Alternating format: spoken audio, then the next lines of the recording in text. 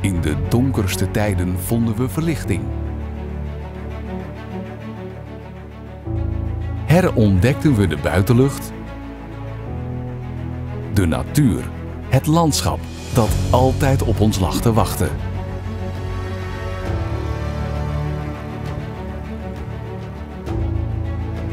Samen brengen we een ode aan het landschap.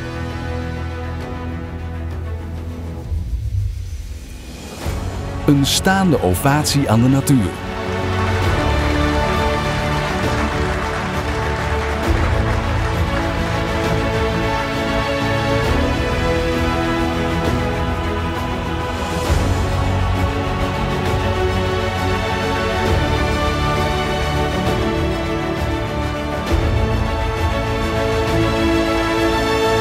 Een hulde aan de horizon.